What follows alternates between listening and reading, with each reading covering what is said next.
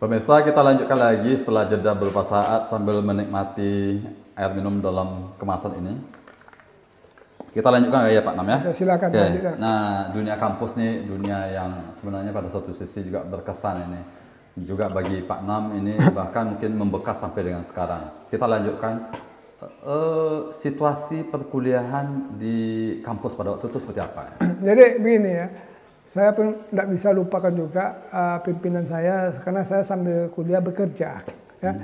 Itu saya berkenal bekerja uh, sama Tonghua Ui Tonghua, orang HTT, uh, bioskop karya, jalan toko Wiramas, uh, istilahnya, istilahnya agen tunggal cap, cap gajah.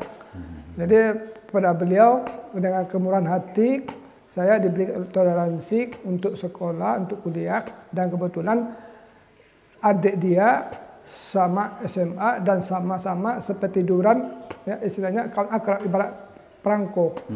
Jadi saya kan uh, ke mana dia pergi saya kan nginap rumah dia, saya numpang tidur rumah dia. Karena setelah dia berkeluarga baru saya kami berpisah. Jadi dengan kepercayaan dan ke, kejujuran saya, saya sebagai kuli juga dan pernah penagihan utang, minta utang dan pernah jadi bendahara kasir, bila menghitung uang seperti saya bilang tadi bahwa bila mana orang BCA datang pagi di store sama saya, ini uang tolong lu hitung berapa nanti bila mana bang datang nanti uh, store kayak jadi jadi saya pagi masuk jam 8 uh, pulang tuh tidak bisa tentukan karena saya kuliah. Saya kuliah uh, jam 3 batas kuliah, jam 4 saya mau izin dan begitu saya kan dikasih kendaraan motor. Dengan kendaraan motor dari kooperatif saya pakai kendaraan tahu saya penting saya kerja dengan penuh kejujuran berapapun minyaknya tidak ada memperhitungkan yang penting store tiap minggu. Jadi saya begitu pulang kuliah malam larut malam. Karena kuliah jam 4 pulang jam 9 malam. Jadi sampai uh, sampai di rumah kadang setengah 10 pertama saya kuliah di kampusnya dulu uh, mungkin orang udah tahu juga Toko Ayu Toko Ayu. Oh, Toko Jalan Ayu. Tamrin ya? Ah, Jalan Tamrin dulu namanya SMP Batik. Sana saya awal pertama kuliah. Berselang lama waktu ada perombakan rumah. Mungkin uh, ada sudah ada dari bagian apa nama dia dari rumahnya apa nama? Uh, properti Oh, properti uh, jadi dipindahkan. dipindahkan Ke mana lokasi barunya? lokasi barunya dipindahkan di Andalas Andalas. Jalan Andalas jadi sekarang ini nama TK Aisyah Nah, jadi di sana TK Aisyah saya alami juga sekian lama hujan panas hujan-hujan juga. untuk kebetulan kuliah Ah, tadi ya. demi kuliah saya pun hujan saya tetap tempuh jadi saya begitu pulang uh, kuliah saya bukan pulang ke rumah saya kena, karena motor kendaraan saya nggak ada rumah saya kembali lagi ke tempat kerja. Jadi Sudah- tempat sudah kerja malam tuh. sudah malam. Jadi uh, begitu saya kerja lagi saya kan jam setengah sebelas saya kan uh, numpang sana Uh, kalau ada kesempatan buat tutup masih belum tidur di sama adiknya. Saya pulang ke rumah. Jadi pulang ke rumah uh, tetap saya lanjutkan kerja siang hari karena ada jual beli ini berapa orang beli berapa setoran berapa Dikumpulkan pada malam hari. ya total. kan toko mana berapa ambil sengnya berapa kodik Nah, catat jadi saya sebagai nah, berapa tinggal sisa barang ya saya harus tahu apa apa barang habis nanti tinggal kita lapor bawa itu barangnya jadi nanti pimpinan stong wah bos kita tuh kita sudah mau Nah, kotong wah ini barang sudah habis. Nah, ini dia catat tahu ini barang mau dipesan. Jadi begitu saya setiap hari saya lalui, saya tetap ah, karena saya menghitung uang itu biasa saya ini nggak bisa, saya sudah biasa transfer. Jadi Karena sudah terbiasa. sudah terbiasa. Jadi Ya, karena ya. orang pegawai bank itu datang saya sudah ini juga sudah biasa. Jadi Nggak jauh beda dengan mereka. nggak nggak bisa saya nggak begini nggak bisa. saya nggak bisa itu ya, Oke, karena oke. sudah latih itu. Jadi begitu saya pulang sampai jam 11, jadi tetap bangun ya sambil pulang sekolah itu kuliah saya lanjutkan belajar lagi. Ya. Hmm. Jadi apa pun mata kuliahnya saya tetap belajar. Ya dengan catatan saya kalau ujian eh, semester itu setiap Islam Muhammadiyah saya ada teman kampus laki-laki ya. Saya belajar sama beliau, pinjam bukunya Al-Qur'an. Saya kan Katolik. Mhm. Tidak ada dasar Muslim tidak ada. Jadi kita ini harus pada pertemanan. Ya. pinjam buku silakan, tapi dan catatan saya tidak bawa pulang. Karena bawa pulang itu nanti efek sampingnya tidak enak. Soalnya kita di uh, melecehkan. Saya pinjam sini, saya belajar. Belajar di tempat lah, Jadi buku itu mungkin mungkin sudah kenal tak asing lagi. Sini mungkin ada kenal dengan Steaming Indonesia Jangkatu Sulaiman. Hmm. Ya, ya. M Daniel M Daniel Dahlan itu adalah teman seper, uh, pelajar. Beliau itu pintar dan san- di sana saya belajar dengan teknik-tekniknya belajar ya sebagai seorang guru sekolah pernah apa nama gurunya pernah khusus bagian guru begini cara trik belajar kamu ini, ini cara mengapa gini jadi sana saya belajar di sana jadi orang pintar kita belajar Hmm. jadi dan orang pintar itu saya bisa dapat trik-triknya gini. Jadi ah, istilah kamu belajar gini, kamu kan ah, Katolik. Jadi cara mudah untuk baca Al-Quran ini gini-gini triknya. Nah, ini ayatnya apa? Tapi saya bilang saya ikro ini saya ngerti, saya ada. Tapi kalau insya Allah saya bilang kan saya sudah terbiasa insya Allah itu kan istilahnya kental. Ya. Saya bilang kalau gini saya nggak bisa apa pesan Arab. Atusan bahasa Indonesia saya apa? Oh ini ini, ini saya bisa. Tapi ah, tapi bila mana setelah saya waktu semester semester saya lalui bila mana ujian tulisan Arab saya nggak bisa. Cuma katanya apa bahasa Indonesia nya? Jadi mungkin ah, tim penguji dosen ini mengatakan juga saya nggak muslim. Ah, mungkin bisa saya nyatain oh ini ayatnya. Saya oh saya bisa bukan sesuai dengan plagiator kita bukan mencemplak ya plagiator jadi ya kita nggak mau. Jadi contoh misalnya tapi boleh saya satu kata Oke, misalnya seperti apa tuh ya? Ah, contoh misalnya kalau dalam berpuasa ya. Puasa itu dalam ayat Al-Qur'annya Al-Baqarah 2 ayat 1 per 3 ya. Itu contoh itu misalnya ini saya maksudnya banyak ayat yang saya bisa kuasai tapi tidak banyak tapi ya istilahnya kalau dalam Al-Quran itu 16 bab 30 juz dengan ayat 366 tapi puji syukur saya masih mampu tapi kira 40 ayat masih mampu. Ya, tapi contoh itu satu ayat baru. Iya, iya. dan lagi satu lagi ayat kursi. Ayat kursi itu Al-Baqarah ayat Baqarah 2 ayat 255 Itu tentang apa itu? itu istilahnya kata orang tuh bukan kata orang ini dalam Al-Quran ya bukan kata orang lagi ya. Itu Tuhan itu tidak tidur. Apa yang kamu kerjakan pasti dia tahu. Itu kata ayat kursi. Itu pada umumnya. Dan satu lagi bagimu agamamu bagiku agamaku ya. Surat 109 ayat 6 Al-Kafirun ya. Itu ayatnya. Nah, boleh boleh bukunya boleh dicek surat 109 ayat 6 Al-Kafirun bagimu agamamu bagiku Nah, agamamu pertanyaan saya adalah bagaimana caranya bisa bisa mengingat sampai dengan sekarang ini? Jadi mungkin keadaan Tuhan itulah yang mem- memberi kelebihan, itulah ilmu saya. saya. Ya mungkin orang bisa uh, setiap orang punya kelebihan, ada kekurangannya. Jadi mungkin Tuhan Yesus mungkin sudah memberikan saya amanah dan situlah hidup kamu di sini, di situlah kamu mencari ilmu, di situlah kehidupan kamu dan di situlah kamu mencari nafkah sampai saat ini saya sudah 30 tahun di kota Sungai Penuh. Jadi saya aktif kegiatan segala macam. Nah, eh, Pak Nam ini kan eh, bagaimana ya? Sudah tamat dari Fakultas Ekonomi itu tahun 91. Ya. Masih berkunjung juga ke kampus. Masih. Ada ada orang yang mungkin ya sudah selesai ya sudah. Mana saya Sudah selesai mungkin sudah. saya istilahnya waktu saya bilang saya ini manusia aneh, aneh tapi nyata. Hmm. Ya, sebabnya gini, mungkin tidak ada masalah ini Tionghoa ya, ini Tionghoa ya khususnya apalagi mungkin di daerah Polores, Polores ada Universitas Muhammadiyah, Ya. Kupang. Ya. Memang betul ada, Katolik ada, Kristen ada, Buddha ada, Hindu ada, segala macam, Ya, Islam ada. Tapi beda kulitnya beda, karena saya ini kan otomatis identitas ibarat kata Langsung ketahuan ya. ketahuan eh ini kok beda pasti pasti tak. jadi maka itu saya tidak asing lagi kalau saya ke kampus apa pun di fakultas itu ada fakultas kehutanan farmasi ya Ekonomi itu sendiri. ekonomi Ya. Nah, tapi kalau hukum lebih tinggi saya akan berkunjung ke seluruh fakultas Sumatera Barat baik Padang Padang Panjang Bukit Tinggi Payakumbuh mungkin sudah tidak asing lagi karena saya tergabung ikatan alumni Universitas Muhammadiyah Sumatera Barat Yang seperti terlihat di baju ini. ini isen ikat saya di, di ikut acara saya apa pun kegiatan Muhammadiyah halal bihalal tahun 2016 dengan namanya Ikatan Sarjana Ekonomi Muhammadiyah. ISEM, Ya. I E I S E M, Ya, Ikatan Sarjana Ekonomi Muhammadiyah. Dan saya Katolik. Ya. Jadi saya pun juga saya tetap mencintai Muhammadiyah. Saya tidak bisa melupakan perjuangan sekolah.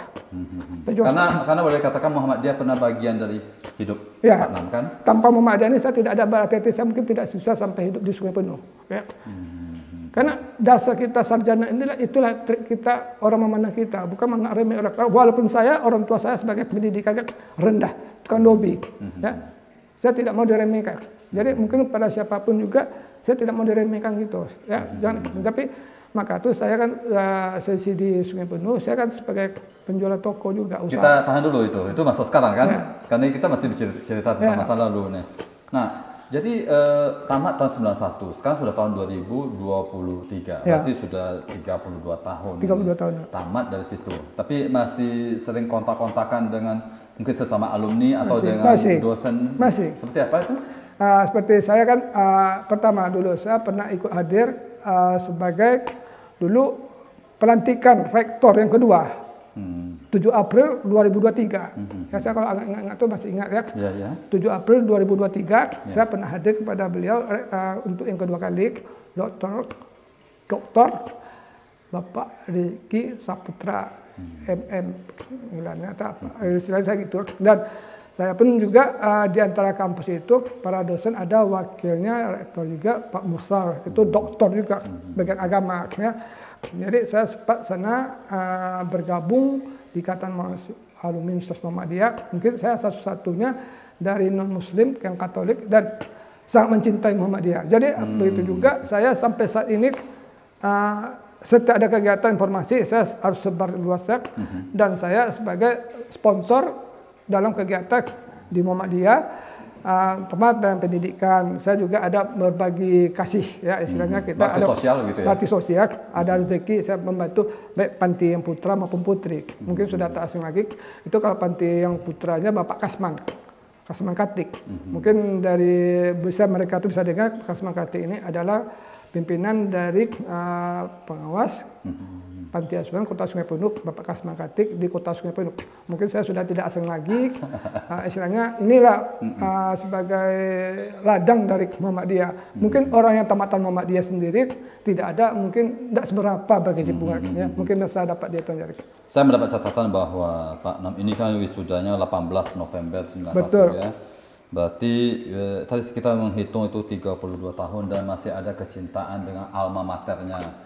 Mungkin ada kesempatan, mungkin diundang untuk datang kesempatan-kesempatan tertentu di kampus ya.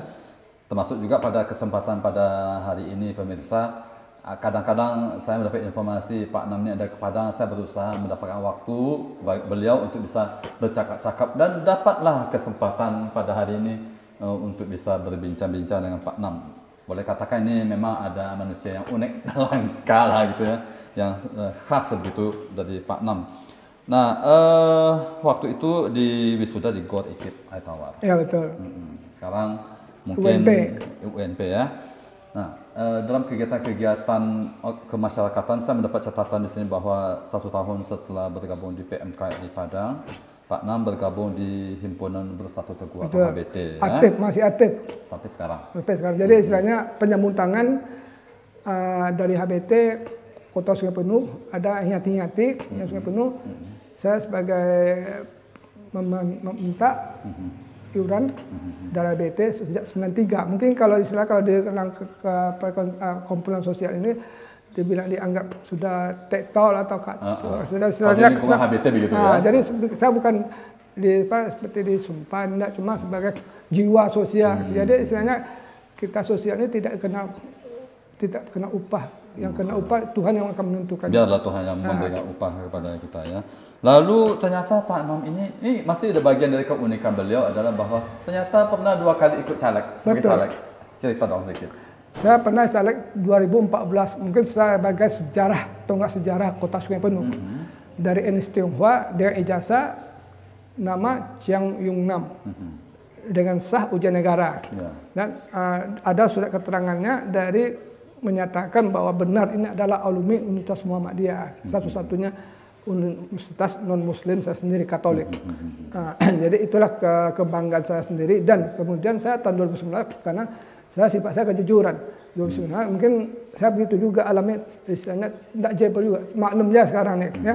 Mungkin dari orang partai politik saya sifat saya kejujuran.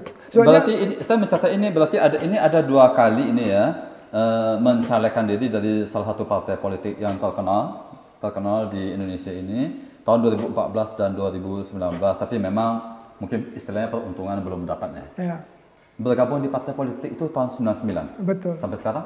masih Oke, pengurus pengurus. Ya. Oke, sebagai apa itu? Saya bidang apa? Bidang perikanan dan kehutanan. Di istilahnya Ah, dan sebelum itu bidang HAM 2014 bidang HAM. Jadi kemudian kalau untuk saya kan tutorialnya pendidik kita Kiai Haji Ahmad Dahlan. Ya. Muhammadiyah. Muhammadiyah ya. Jadi saya kan sesuai dengan ajarannya. Untuk guru andayani, ya, belajar dengan kejujuran. Kejujuran itulah bidang ke, kejujuran dan keikhlasan. Kalau kita bekerja dengan kejujuran dan keikhlasan pasti akan sukses. Tapi kalau kita belum bekerja minta uang tuh berarti tidak ikhlas. Ya, Ada hitung hitungannya mulanya ya.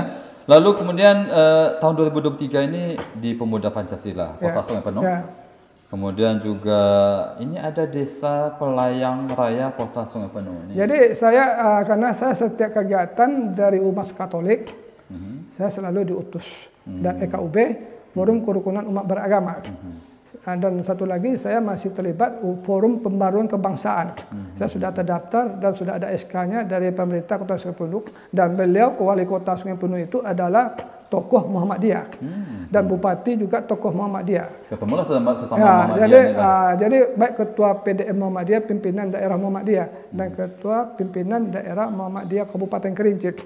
Mungkin saya sudah tak asing lagi, mereka sudah kenal dengan saya. Dan saya pun sampai dari ketua PDM Muhammadiyah Pak Yudasman MAG Mag- Magister Agama. Mereka sempat salut dia. Ini satu-satunya yang non muslim Kembali lagi ke situ ya. hafal Al-Quran jangan ditanya lagi dan diragukan lagi. Oke, Nah, itu bukan saya banggakan, tapi saya cukup uh, pada Tuhan yang memberikan pada saya ilmu saya dan uh, itu bukan saya banggakan, kehendak di atas.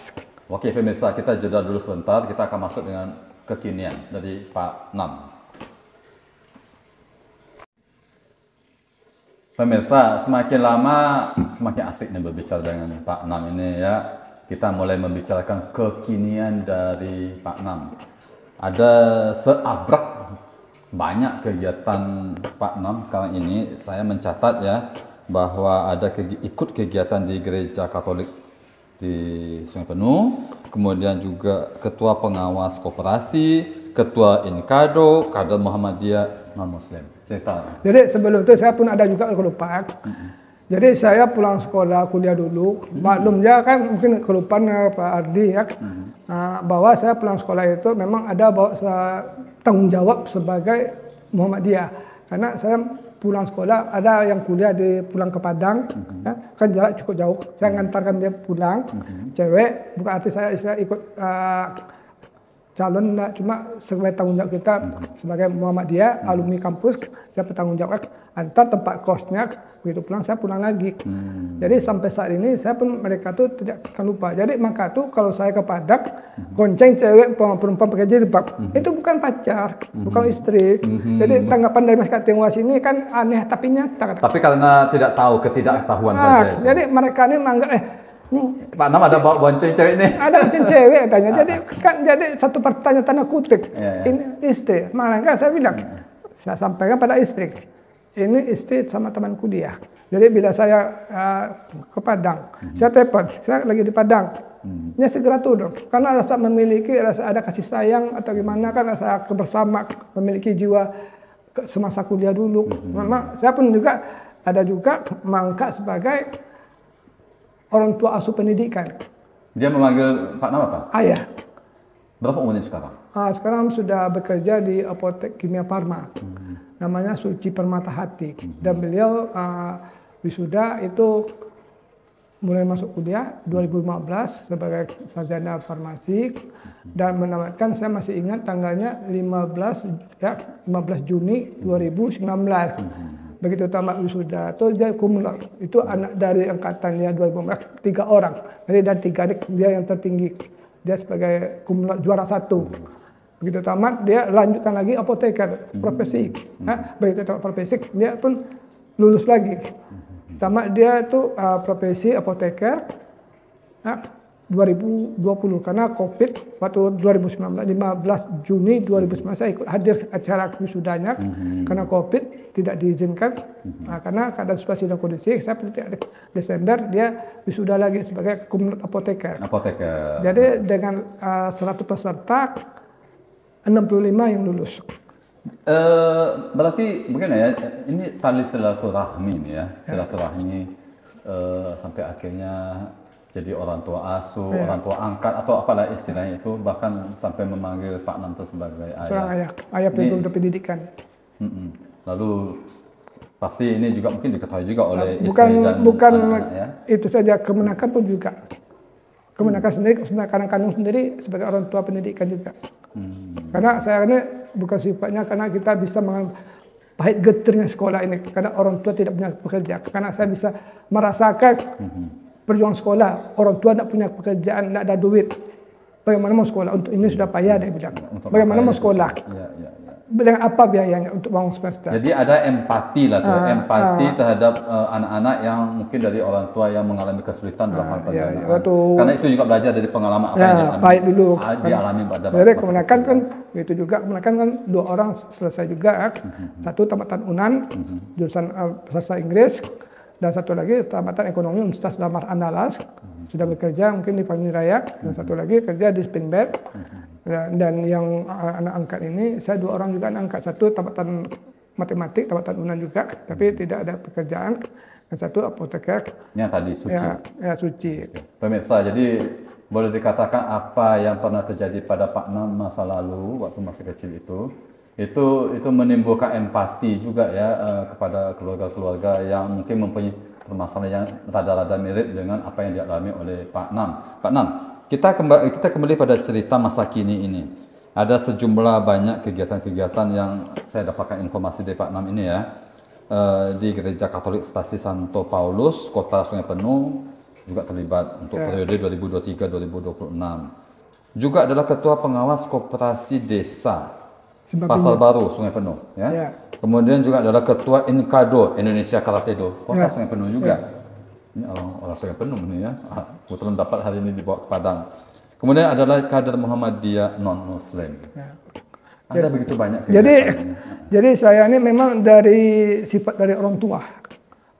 Karena orang tua waktu walaupun tukang lobby, jadi bila mana ada kedengaran dari ada kegiatan orang meninggal, dia pergi- biar yang tinggal kerja demi teman dia ikut melayar dan angkat peti. Kalau dulu kan orang kuat-kuat dulu masih kuat. Jadi setelah pulang tuh paling jam 4 baru dia bekerja. Bekerja itu waktunya begitulah perjuangan orang tua. Jam 10 malam, jam 10 malam baru dia istirahat. Jadi walaupun dengan kondisi yang susah seperti itu, tapi ada rasa sosialnya Nah, ya. ada. Jadi saya mungkin sudah gimana kak begitulah perjuangan orang tua. Saya pernah saya terpanggil. Jadi kita ini kalau kerjaan sosial ini tidak kenal lelah, harus kejujuran dan ikhlas. Jadi yang memberi upah adalah segala Tuhan Yesus. Apel itu jatuhnya tidak jauh dari pohon. Ya, jadi saya kegiatan di itu apa pun kegiatan saya siap dengan kerja. Saya kan sebagai wirausaha. Ya, mungkin di antara sana saya pun tidak orang tak mampu juga dari saya merantau sana. Istilahnya seorang diri begini kehidupan saya. Saya tidak akan sifat sombong. Tapi dalam Al-Quran pun ada juga. Jangan, Nah, apa itu? kalau dalam Al-Quran dalam surahnya surat Isra surah Isra 17 ayat 37 dan satu lagi Luqman ya Luqman 31 ayat 18. Jadi Luqman 31 ayat 18 ya. Itu jangan sifat sombong. Dan ayat Isra 17 ayat 37. Hmm. Nah, itu ayatnya. Jadi itu ayatnya. Dan begitu juga sebagai pedagang ya. Sebagai pedagang jangan menimbang jangan tidak adil. Itu terdapat surat ya surat 17 ayat 35, ayat Isra ayat 35. Penuh kejujuran dalam penimbang. Silakan untuk membukanya. Karena saya belajar dari Muhammadiyah. Tanpa Muhammadiyah saya tidak ada berarti apa-apa. Tidak mengerti dalam hafalan dari ayat. Karena itulah suatu tuntutan dalam ilmu saya.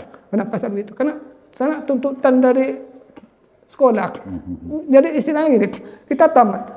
Kita tamat bukan vakum ibarat ijazah simpan enggak. Ya, Tapi ya. dia bilang kalau ijazah ini mengabdi kepada nusa, bangsa serta agama. Saya mengabdi pada masyarakat. Ya. Itu guna sarjana bagi saya sendiri pribadi saya. Jadi tidak hanya menjadi sebatas kertas saja Ya, ya, enggak. tetapi ada sesuatu isi dari Ah. apa yang didapat Ah. selama pendidikan di Ah, sana ya. Itu guna sarjana. Jadi sebagai saya ada teman tamat SM kuliah tidak Selesai ada. sudah. Jadi maklumnya saya pun ah, seperti saya bilang, saya pun tergabung dari grup muslim. Mhm. Ya. Saya pun walaupun pernah juga ada pernah nelpon. Saya bilang saya tadi Katolik. Mhm. Maka juga saya bisa menjawabnya ya, coba kalau saya buka di Google, ada teman buka Google, benar. Mhm. Jadi saya pun ah, bilang pintar sih enggak, saya nggak- di dalam agama pun enggak, cuma uh, tergantung antene dan begitu juga saya di, di Sungai Penuh saya belajar bahasa Jawa juga. Hmm, itulah dia. Jadi pemirsa kita sampai pada bagian akhir eh, bahwa Pak Nam ini sebagai kalau dulu orang Padang sekarang jadi orang Sungai Penuh dan hari ini bisa sampai ke Padang dan kebetulan bisa saya ajak ikut serta dalam percakapan sudut meja ini. Bagian akhir Pak Nam, ada sesuatu yang mau disampaikan tak untuk kita semua berkaitan dari pengalaman hidup selama ini? Jadi kalau bisa cuma saya mengharapkan kepada anak-anak generasi sekarang ya jangan bekerja itu pilih-pilih ya pertama ini kesimpulan. Ya hormatilah dengar kata orang tua. Ya orang tua ini sifatnya dua sisi mata pisau. Kalau situ menentang ya habis. Contoh saya sendiri ya. Karena saya mengalami karena uh, kenapa? Pas tanya pertanyaan orang.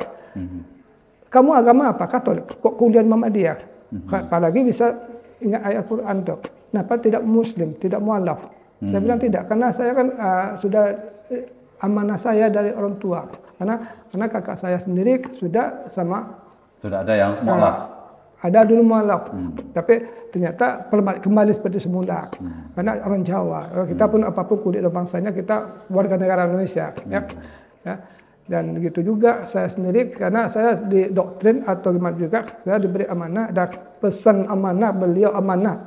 Amanah ini dipegang oleh istilahnya ya, kamu pokoknya janganlah istilahnya satu lagi yang ya apa harapkan dapat ini Tionghoa apa agama bukan yang dicantik hatinya yang cantik bisa mencuat kita kadang kita ngerti juga karena maka itu saya ketemu ini kita tidak ada kena waktu pacaran karena waktu pulang kerja saya malam pulang sampai jam 8 Ya, saya situasi seperti ini Ah, diceritakan. ah. Jadi itu adalah eh, hal yang Perjuangan. kita diperhatikan oleh orang muda.